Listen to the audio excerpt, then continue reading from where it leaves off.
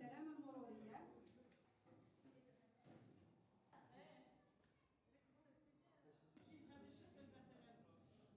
ولاية جلفة آه، استفادت من عدة آه، هياكل جديدة من شأنها أن تحسن آه، العملية التعليمية التعلمية بالنسبة لأبنائنا التلاميذ وتقلل الاكتظاظ والضغط.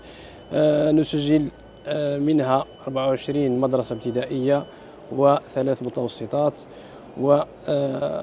وثانوية ابتداء من يوم 22 9 2024 إضافة إلى ثانويتين سيتم آه، افتتاحها في آه، هذا بحر هذا الأسبوع. استفادت ولاية الجلفة آه، وهذا الاستفادة تتعلق ب هو ليس عدد ثابت وإنما إذا كان هناك فتح مؤسسات جديدة سيرتفع العدد. اذا أكثر من 2000 متعاقد إلى غاية هذا اليوم.